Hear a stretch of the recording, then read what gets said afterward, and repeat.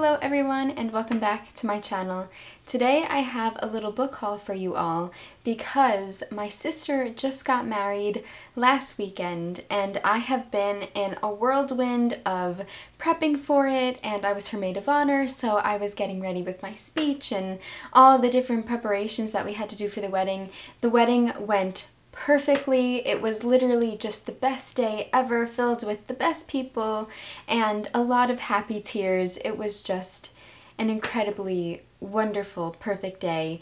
And now I am so excited because now my sister and her husband are officially married and I'm so happy for them and life can get back a little bit to normal um, where I can start uploading more videos more regularly and start doing more work. I'm planning an Etsy shop for soon so I'm very excited to I guess get back into the swing of things. But anyway, today I have a little mini book haul because I haven't gone book shopping in a little while. I love my local library because, well, for many reasons. I love supporting my library, but also they have a wonderful program where they have a little bookshop and in this little bookshop you can donate your books for free and then they will resell them. Paperbacks are a dollar and hardcovers are two dollars and all the money that they make in their bookshop gets recirculated into the library. So it's a wonderful way to support my local library and also to buy secondhand books. So I have my tote bag full of some books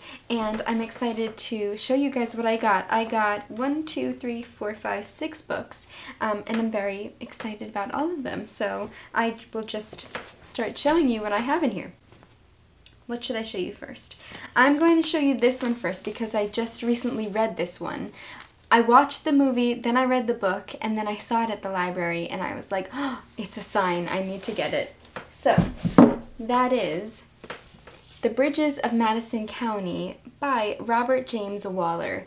And I have heard so much about the movie The Bridges of Madison County, and it has Meryl Streep and Clint Eastwood, and Clint Eastwood directed it as well and starred in it, and I have heard amazing things about it. And then recently, I was in the mood for a romance, and it came up on one of the streaming services under the romance category, because I just love a romance. And I was like, you know what, I've heard so much about it, I want to watch it. I watched it, I fell in love with it and immediately had to read the book. So I listened to the audiobook because I didn't have a copy of it and I wanted to read it as quickly as possible.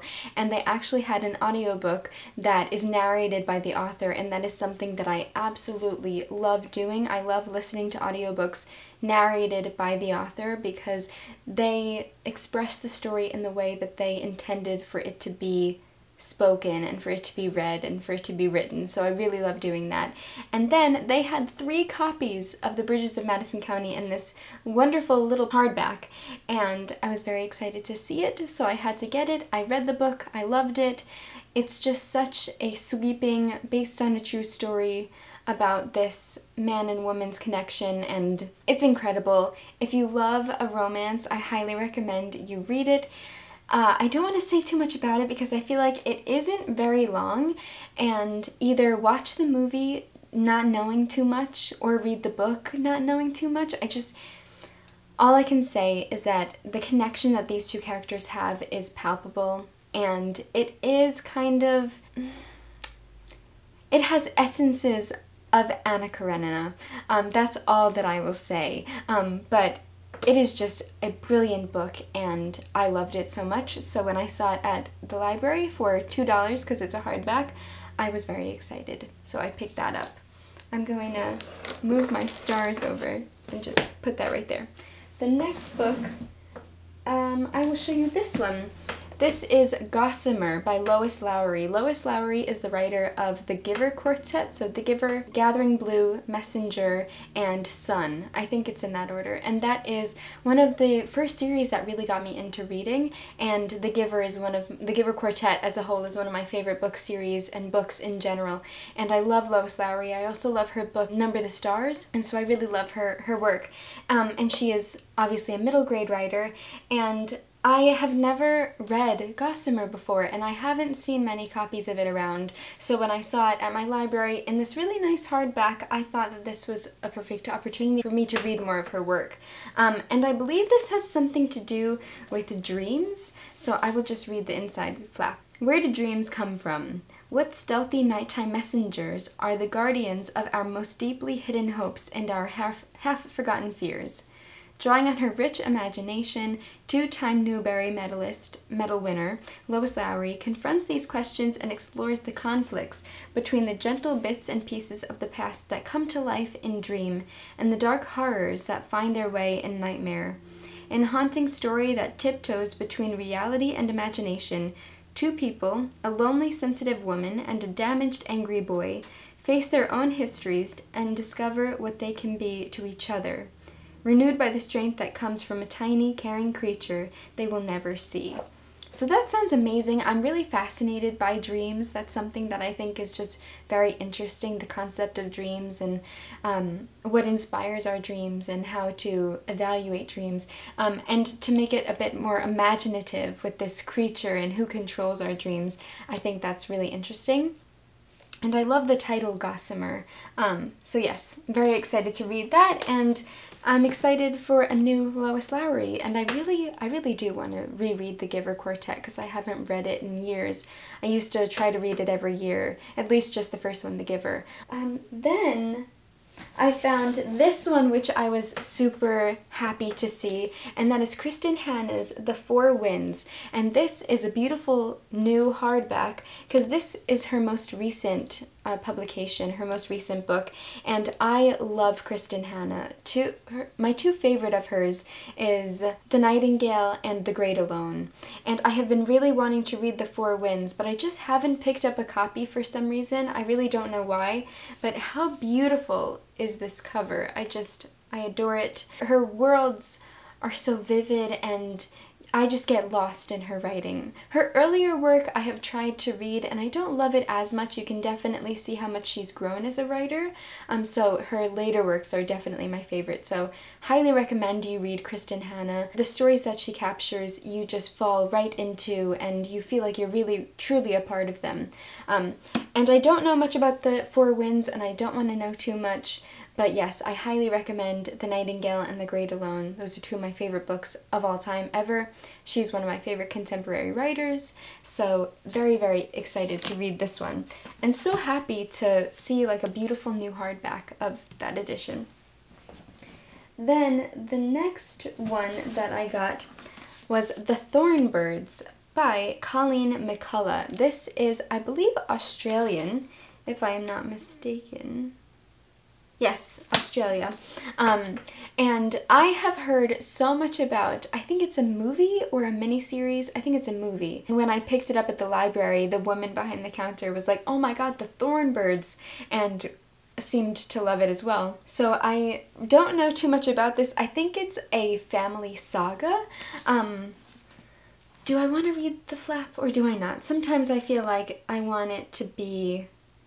Mm, I wanted to be a surprise. Okay, the first sentence says, The Thorn Birds is a robust, romantic saga of a singular family, the Clearys. That's all, that's all I want to know.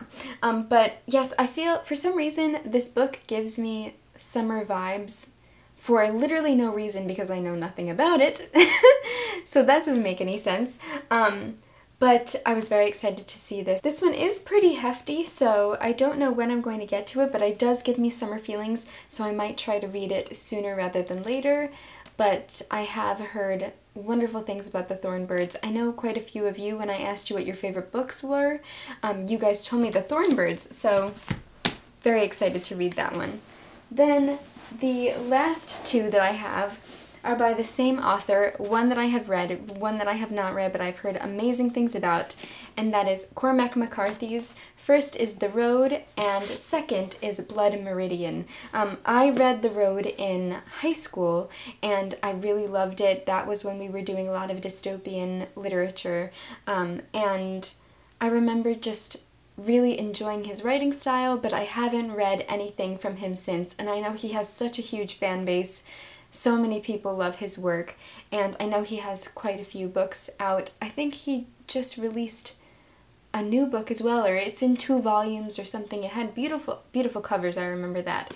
Um, But anyway, so I have read The Road. I would like to reread it, but also I have been recommended Blood Meridian before by a few people um, because it is, I feel like, one of his most popular works, but I know it is quite a harrowing, dark book, I believe. It says, based on the historical events that took place in the Texas-Mexico border in the 1850s, Blood Meridian is an epic novel that traces the fortunes of the kid, a 14-year-old Tennessean, who stumbles into a nightmarish world in which the market for Indian scalps is thriving. Oh wow. Yes, that sounds quite uh, quite intense. I believe people have described it as gruesome, which I don't usually have a problem with, but I'm really excited to read more Cormac McCarthy because I feel like he's one of those authors that I would really enjoy. Um, so yes, I would like to maybe reread The Road or maybe listen to the audiobook since I've already read it. Sometimes I like doing that and then give Blood Meridian a go. Um, but yes, those are all the books that I got at my library recently um, today and I went the other day. So it was two two little collective hauls. There was another book that I wanted to get there, The Illuminaries. Um, I forgot the writer, the author, um, but that wasn't there anymore, which was sad, but that's okay. Um, anyway, so that is my little haul and catch up. Um, I am going to, I, I'm reading a really great book right now, My Policeman by Bethan Roberts. I'm really enjoying because it's going to be a new film with uh, Harry Styles. I'm loving it so far, and I am definitely just really in the mood to read and create and so I'm excited and film of course. So I'm excited to get back into my workflow and give you guys more content and make more content because that's my favorite thing ever. So anyway um, I am so excited that I get to update you guys tell you that the wedding went amazingly, show you some new books that I got, and I would love to hear how you guys are doing. If you have read in any of these books, if you want me to talk about any of these books, let me know. Let me know what you're reading. Um, yeah, let me know how you're doing. So I will see you very soon in another video. Thank you so much for watching and all of your support and all of your kindness. You all mean the world to me. I will see you in a new video very soon. Happy reading.